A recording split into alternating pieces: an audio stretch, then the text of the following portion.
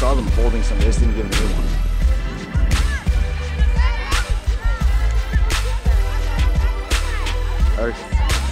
Yeah, I'm in gold right now.